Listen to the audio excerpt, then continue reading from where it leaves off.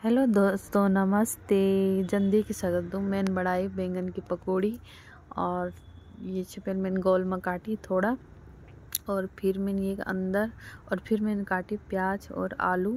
जल्दी की सकता तुम। और ये छह बेसन, जो बेसन मैंने रखी, ये पर डोंगा पर और ये पर मिलाई मैंने मिर्च और हल्दी और डाल मैंने तेल, जो आजकल तेल डाली मैंने, और अब एक करी मैंने मिक्स अब जंजे के साथ दूँ।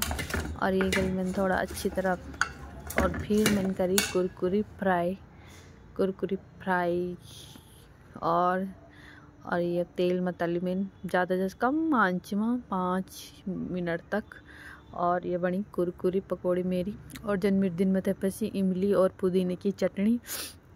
और ये देख जन सकते तुम पुदीना और टमाटर की चटनी और इमली। और अब मैंने प्याज में भी थोड़ा उमिले ली, बेसन।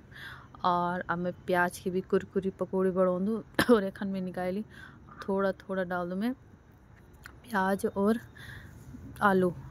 ये भी मैं क्रची बढ़ा थोड़ा। और ये होएगी फ्राई करकरी पकौड़ी। और मैंने बढ़ाई तब तक अलग गैस पर चाय। और ये भी चटनी और पकौड़ी। Bye bye